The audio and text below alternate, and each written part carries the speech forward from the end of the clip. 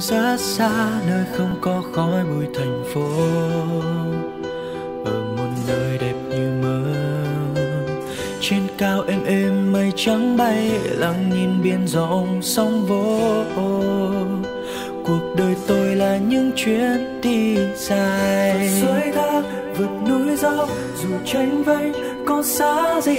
Có biết bao thứ tươi đẹp vẫn cứ ở đó đang chờ tôi. Người xung quanh ở nơi đây thật dễ bên sao mới cả? Ánh mắt lấp lánh hiền hòa chào tôi chào người bạn mới. Từng chặng đường dài mà ta qua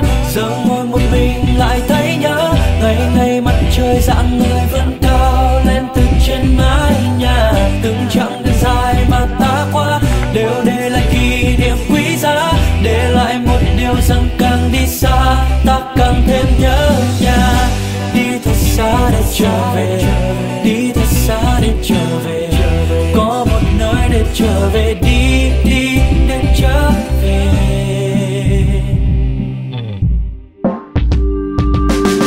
Tôi đang ở một nơi rất xa, nơi không có khói bụi thành phố.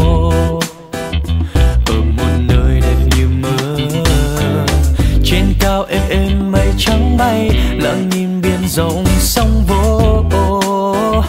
Cuộc đời tôi là những chuyến đi dài.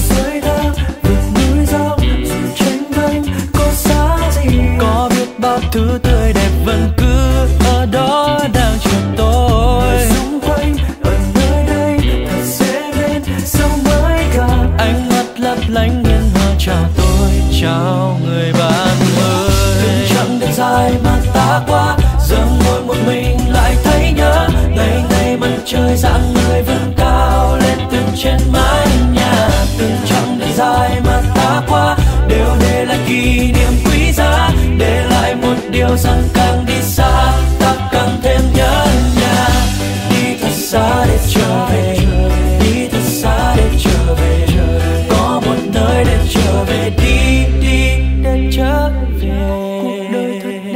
khi được đi muôn nơi xa xôi rộng lớn, nhưng ta vẫn có nơi để trở về sau mỗi chuyến đi. Điều kỳ diệu là con người ta đi xa hơn để trưởng thành hơn, không quên mang theo bên cạnh hành trang nỗi nhớ gia đình.